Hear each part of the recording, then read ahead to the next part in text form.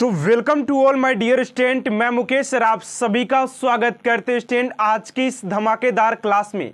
Student अगर आप सभी भी यूपी पुलिस कांस्टेबल 2024 के 17 फरवरी या 18 फरवरी एग्ज़ाम देने जाने वाले हैं तो यकीन मानिए स्टूडेंट आज के क्लास आप सभी के लिए काफ़ी इंपोर्टेंट होने वाला है। क्योंकि स्टूडेंट आज के क्लास के अंदर हम लोग बात करने वाले आप सभी के वायरल हिंदी पेपर के क्वेश्चन के बारे में, जो कि आप सभी के एग्ज़ाम में स्टूडेंट हंड्रेड परसेंट पूछे ही जाएँगे। तो आप सभी से एक छोटा सा रिक्वेस्ट है स्टूडेंट की क्लास को इन तक आप सभी जुड़ देखिएगा क्योंकि ये आप सभी के वायरल पेपर में से एक है दोस्तों, और मैं इतना दावे के साथ कह सकता हूँ दोस्तों कि ऐसा ही पेपर आप सभी के एग्ज़ाम में देखने को मिलेगा। तो आप सभी से एक छोटा सा रिक्वेस्ट है कि क्लास को एंड तक आप सभी ज़रूर देखिएगा। तो चलिए स्टूडेंट आज की इस क्लास को स्टार्ट करते हैं। आप सभी के टाइम टाइम को बचाते हुए तो पहले क्वेश्चन की ओर बार करते हैं। यहाँ पर दोस्तों, सबसे पहले आप सभी देखिए, यहाँ पर सबसे पहले मैं आपसे समझाना चाहता हूँ कि ये जो पेपर रहने वाला दोस्तों, आप सभी का हिंदी का पेपर रहने वाला क्या रहने वाला दोस्तों आपसे का हिंदी का पेपर रहने वाला है, जिसमें कि पहले ही नंबर में आपसे को गद्यांश दिया रहेगा। आपसे के एग्ज़ाम में भी ऐसा ही रूल्स आपसे को देखने को मिलेगा, मैं आपसे गारंटी देता हूँ कि आपसी को जैसा जैसे यहाँ पर दोस्तों क्वेश्चन बताया जाएगा, उसी दोस्तों टॉपिक से आपसी के एग्ज़ाम में प्रश्न देखने को एग्ज़ाम में भी मिलेगा। यहाँ पर देखिए, सबसे पहले दोस्तों आपसी को एक गद्यांश मिलेगा, जिसमें यहाँ पर कहा जा रहा है कि प्रश्न संख्या एक से पाँच के लिए निर्देश निम्नलिखित गद्यांश को पढ़कर नीचे दिए गए प्रश्नों के उत्तर दीजिए। यानी कि दोस्तों, यहाँ पर देखिए थोड़ा सा, आप लोग देखिए यहाँ पर, ये जो पाँच क्वेश्चन दोस्तों आपको दिखाई दे रहा ना, इस पाँच क्वेश्चन का दोस्तों आंसर आपको देना होता है। अब कहाँ से देना होता है, ये भी समझ लीजिए कि आप सभी को दोस्तों इस गद्यांश को अच्छे तरीके से रीड करके उसका आंसर दोस्तों देना होता है। तो सबसे पहले इस गद्यांश को दोस्तों अच्छे तरीके से रीड कर लेते हैं, उसके बाद उसका आंसर भी दोस्तों हम लोग दे देंगे तो ध्यान से दोस्तों समझिएगा। मैं बार बार दोस्तों आपसे बोल रहा हूँ कि काफ़ी इंपोर्टेंट है। ठीक है ना देखिए करे कि बचपन के दिनों से सोचता हूँ तो सब कुछ बदला बदला बदला लगता है, जिसे देखकर विस्मित हो जाता हूँ, जिसे देखकर विस्मित हो जाता हूँ। बचपन में एक बार फुटबॉल खेलते समय गेंद पंचर हो गई। हम सभी बच्चे बच्चे एक दोस्त के पिता की दुकान पर पहुँचे। उसके पिता साइकिल समस्त परम परमत का काम करते थे। उन्होंने तुरंत फुटबॉल का पंचर ठीक कर दिया। हमारे आनंद का ठिकाना न रहा। उन दिनों अंग्रेज़ी स्कूल का चलन शुरू हो गया था। इन स्कूलों में बच्चों को पढ़ना सा, शान की बात मानी जाती थी कि आप लोग अंग्रेज़ी स्कूल में पढ़े तो आप उनके लिए शान की बात मानी जाती थी। ठीक उसके बाद कह रहा है कि मानी जाती थी मानी जाती थी। करे, गरीबी के बच्चों, गरीबों के बच्चों, इनके सपने ही ले सकते थे। कुछ बड़े घरों के ही बच्चे इस पढ़ते पढ़ने जाते थे, जो बड़े बड़े स्कूल होते उसमें वो भी सी बात है कि बड़े बड़े घर के लोग जाते हैं। समाज में अमीरी गरीबी का भेदभाव अधिक था। ये आप सभी ने तो इसको रीड कर लिया। अब उसके बाद बात करते हैं आपसे को क्वेश्चन कैसे आंसर देना देखिए क्वेश्चन को। क्वेश्चन सबसे पहले कह रहा है कि यहाँ पर देखिए, पहला क्वेश्चन है कि बिस्मत का, बिस्मत होने का क्या कारण है? बिस्मत होने का क्या कारण है? यहाँ पर आपसे से ये पहला प्रश्न पूछा गया। तो बिस्मत होने कारण की बात करें तो वहाँ पर बिस्मत होने कारण क्या था? तो बिस्मत होने कारण था दोस्तों, आपसे तेज बदलाव। जो धीरे धीरे जो तेज गति से जो बदलाव हो रहा था ना, सब कुछ जो बदलाव हो रहा था, वही है दोस्तों आपसे बिस्मत होने का कारण। उसके बाद दूसरा नंबर है कि समाज में किसका भेद था? अब समाज में किसका भेद था? अरे, अमीर गरीबी का या बच्चों का या गोरे काले का या स्त्री पुरुष का? तो नहीं, बच्चों का भेद था। क्या आप अमीर के बच्चे आप गरीब के बच्चे तो आप इसमें पढ़ सकते आप नहीं पढ़ सकते। यही भेद था, ठीक है ना? अगला प्रश्न है कि दोस्त के पिताजी क्या काम करते थे? तो साइकिल समस्त करते थे, यानी कि साइकिल चलाते थे नहीं, ऑप्शन नंबर बी हो जाएगा, ठीक है ना? न कि पंचर बनाते थे, ऐसा कोई बात नहीं, फुटबॉल खरीदते नहीं हो जाएगा, ऑप्शन नंबर बी। चलिए, अगले प्रश्न को और बात करते हैं। फोर नंबर प्रश्न क्या पूछा जरा ध्यान दीजिएगा। करे कि दोस्त के पिताजी, यहाँ पर देखिए, उन दिनों किसका चलन शुरू हो गया था? तो उन दिनों बात करें, अंग्रेज़ी का, अंग्रेज़ी स्कूलों का चलन बहुत ज़्यादा था। अब देखिए, कितना मस्त मस्त क्वेश्चन आपसे के एग्ज़ाम में पूछ रहा वैसे ही सारे प्रश्न आपसे के एग्ज़ाम में ऐसा ही पूछा जाएगा। एंड आप सभी के लिए यहाँ पर थर्टी क्वेश्चन को कवरअप किया गया, जो कि आप सभी के लिए काफ़ी इंपोर्टेंट है। ठीक है ना? चलिए फाइव नंबर प्रश्न आप सभी से पूछा जा रहा है कि बड़े घरे घरों के बच्चे से क्या अभिप्राय है? तो बड़े घरों के बच्चे से यही अभिप्राय है कि जो होते हैं ना, पैसे वाले पैसे वाले लोगों के बच्चे होते हो बड़े घरे घर के जो लोग होते हैं बड़े पैसे वाले होते हैं, ठीक है ना? चलिए, अगला प्रश्न आप सभी का सिक्स नंबर देखिएगा, यहाँ पर कह रहा है कि अधिकतर भारतीय भाषाओं का विकास किस लिपि से हुआ है? कह रहा है कि अधिकतर भारतीय भाषाओं का विकास किस लिपि से हुआ है? तो सिक्स का हो जाएगा आप सभी का ब्राही लिपि। ऑप्शन नंबर डी स्टेंट आप सभी का राइट आंसर हो जाएगा। चलिए, अगला प्रश्न आप सभी का। सेवन नंबर का रहा है कि तालवय व्यंजक है। तो तालवे तालवे से जो होता है तो तालवे से कौन कौन शब्द यहाँ पर निकल सकता है? तो ये च, छ, ज और झ। बाकी शब्द आप सभी के ट। तो ट थोड़ा सा उसको तालवे से नहीं होता, ठीक है ना? तो ऑप्शन नंबर बी ही आप सभी का राइट आंसर हो जाएगा। क्वेश्चन नंबर सेवन का। चलिए, अगला प्रश्न वो भी काफ़ी इंपोर्टेंट आप सभी के प्रश्न एट नंबर पूछा जा रहा है कि हिंदी दिवस कब मनाया जाता है? यहाँ पर पूछा जा रहा है कि आप सभी का हिंदी दिवस कब मनाया जाता है? तो राइट आंसर हो जाएगा, आप सभी का एट का ऑप्शन नंबर बी यानी कि 14 सितंबर को हिंदी दिवस के रूप में मनाया जाता है। तो ऑप्शन नंबर बी स्टूडेंट आप सभी का राइट आंसर हो जाएगा। चलिए, अगला प्रश्न आप सभी का नाइन नंबर पूछा जा रहा है कि सूर्यकांत त्रिपाठी निराला को कैसा कवि माना जाता है? सूर्यकांत त्रिपाठी निराला को कैसा कवि माना जाता है? तो फटाफट आंसर आप लोग कमेंट बॉक्स में दीजिए। अगर आप सभी को किसी भी क्वेश्चन का आंसर पता होता है तो आप लोग फटाफट क्वेश्चन कमेंट बॉक्स में लिखने का प्रयास कीजिए, ताकि आप लोग हमारे आंसर देने से पहले आप लोग आंसर कमेंट बॉक्स में डाल दे, ठीक है? ताकि आप लोग का इससे क्या होता है ना कि आप लोग समझ पाते हैं कि आखिर मुझे कितना क्वेश्चन याद है, मैं कितना क्वेश्चन एग्ज़ाम में स्कोर कर पाऊँगा, ठीक है ना? तो नाइन का हो जाएगा आप सभी का ऑप्शन नंबर यानी कि क्रांतिकारी हो जाएगा। ऑप्शन नंबर ए स्टेंट आप सभी का राइट आंसर हो जाएगा। चलिए, दस नंबर प्रश्न की कौन वर्ण ओष्ठय नहीं है? कौन वर्ण ओष्ठय नहीं है? तो दस का हो जाएगा, आप सभी का आ हो जाएगा। ठीक है ना? चलिए, अगला प्रश्न आप सभी का ग्यारह नंबर। निम्नलिखित में से नासिक व्यंजक कौन सा है? नासिक व्यंजक तो सत आप सभी का ग्यारह का हो जाएगा ऑप्शन नंबर बी यानी कि झ हो जाएगा, ठीक है ना? यार अल्लाह। देखिए यह ये हो जाएगा आप सभी का। और बारह नंबर है कि प्रसारण का विलोम शब्द क्या है? तो प्रसारण के अगर विलोम शब्द की बात करते स्टूडेंट की प्रसारण का विलोम क्या? फटाफट इसका कौन सा है? आप सभी इसका आंसर कमेंट बॉक्स में छापिए, ठीक है ना? बारह का हो जाएगा अस्सी का अंकु अंकुचलन हो जाएगा अंकुचलन हो जाएगा ऑप्शन नंबर सी हो जाएगा, ठीक है ना?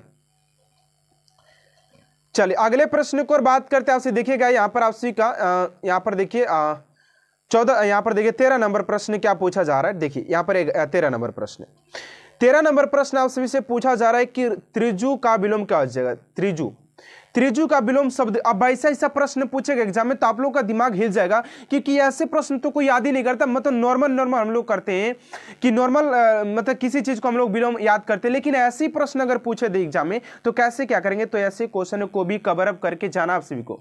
ठीक है ना? तो तेरह का जाएगा, आप सभी का ऑप्शन नंबर डी यानी कि वक्र हो जाएगा। ऑप्शन नंबर डी स्टूडेंट आप सभी का राइट आंसर हो जाएगा। चलिए। चौदह नंबर प्रश्न है कि विशिष्ट अवसर पर विशिष्ट लोगों के समक्ष दिया गया विद्यापूर्ण भा, भाषण कहलाता है। तो चौदह का जगह ऑप्शन नंबर भी यानी कि अभिभाषण अभिभाषण कहलाता है। तो ऑप्शन नंबर बी स्टेंट आप सभी का राइट आंसर हो जाए क्वेश्चन नंबर चौदह का। एंड स्टूडेंट अभी तक आप सभी चैनल को सब्सक्राइब नहीं किए तो प्लीज़ स्टूडेंट चैनल को सब्सक्राइब कर एंड साथ साथ बेल आइकन को भी प्रेस कर दीजिएगा, ताकि ऐसा मोस्ट इंपोर्टेंट क्लास स्टूडेंट आप तक सबसे जल्द पहुँचते रहे। ठीक है ना? चलिए, अगले प्रश्न को और बात करते आप सभी का देखिएगा कि आप सभी का पंद्रह नंबर प्रश्न क्या पूछा जा रहा है। चलिए पंद्रह नंबर प्रश्न उसी से पूछा जा रहा है कि जिसमें संसार के प्रति मोह न रहो रहा हो उपयुक्त शब्द का चयन कीजिए। जिस जिसमें संसार के प्रति मोह न रहा हो उपयुक्त शब्द का चयन करें। तो वित रानी कहेगा या वित रागी कहेगा रागी या अनुरागी या रागी कहलाएगा। तो पंद्रह का हो जाएगा आप सभी का ऑप्शन नंबर ए यानी कि वित रा, रागी हो जाएगा। ऑप्शन नंबर ए चलिए, सोलह नंबर प्रश्न है कि केशव कही न जाई, काहे कहिए देवत तब रचना विचित्र अति सुझू, सुमुझू मन ही मन रही ये कौन क्या है? तो ये आप सभी का राइट आंसर हो जाएगा, सोलह का ऑप्शन नंबर हो जाएगा डी यानी कि अद्भुत रस है। ये अद्भुत रस है, कहते हैं, केशव कहीं न जाई, का कहिए देवत, देखत तव, रचना विचित्र अति समुझी, मन ही मन रही तो ये विचि अद्भुत रस हो जाएगा, ठीक है ना? चलिए, सत्रह नंबर है कि क्रोध किस रस का अस्थाई भाव है? तो क्रोध की बात करते किस रस का अभिभाव हो जाएगा अस्थाई भाव हो जाएगा? तो सत्रह का राइट आंसर हो जाएगा स्टूडेंट आप सभी का ऑप्शन नंबर सी यानी कि रोध्र हो जाएगा, रौद्र। ऑप्शन नंबर सी आप सभी का राइट आंसर हो जाएगा रोध्र हो जाएगा। चलिए, अगला प्रश्न आपसे का अठारह नंबर पूछा रहा ध्यान दीजिएगा कि नीचे दिए गए शब्दों में से अव्यविभाव समास का चयन कीजिए। तो 18 का हो जाएगा आप सभी का ऑप्शन नंबर बी यानी कि आजीवन हो जाएगा ऑप्शन नंबर बी हो जाएगा।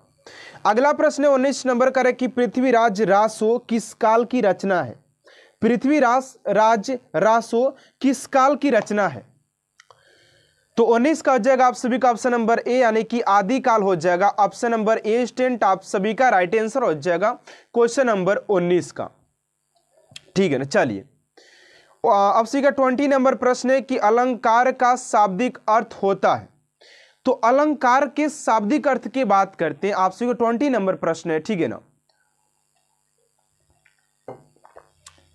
तो ट्वेंटी का हो जाएगा ऑप्शन नंबर सी यानी कि आभूषण हो जाता है। अलंकार में आभूषण आ जाता है। ठीक है ना? चलिए, अगले प्रश्न को और बात करते हैं, स्टूडेंट। फिर से आप सभी से एक छोटा सा रिक्वेस्ट है कि अभी तक आपसे मेरे चैनल को सब्सक्राइब नहीं किए तो प्लीज़ स्टूडेंट चैनल को सब्सक्राइब कर साथ साथ बेल आइकन को प्रेस कर दीजिएगा, ताकि ऐसा मोस्ट इंपोर्टेंट क्लास स्टूडेंट आप तक सबसे जल्द पहुँचते रहे। ठीक है ना? चलिए ट्वेंटी वन नंबर प्रश्न की ओर बात करते हैं आपसे क्या देखिएगा ट्वेंटी वन नंबर प्रश्न स्टूडेंट आप सभी से क्या पूछा जा रहा है? कह कि जिस समास में सब पद अथवा उसके समाहार प्रधान रहता है, उसे क्या कहते हैं?